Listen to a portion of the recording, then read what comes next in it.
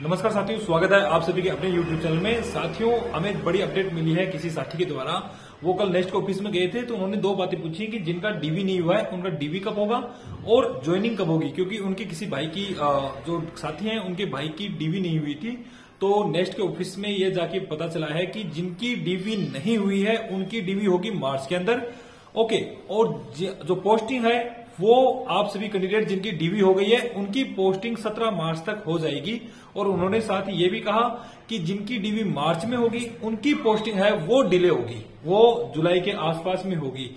क्योंकि मई तक चुनाव है तो आचार संहिता हटने के बाद ही आपकी पोस्टिंग हो पाएगी।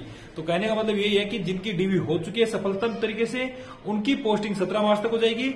और जिनकी डीवी अभी नहीं हुई है किसी कारणवश तो उनकी डीवी मार्च में होगी। और आचार संहिता, यानी चुनावों की वजह से उनकी जो पोस्टिंग है वो जून के अंदर होगी।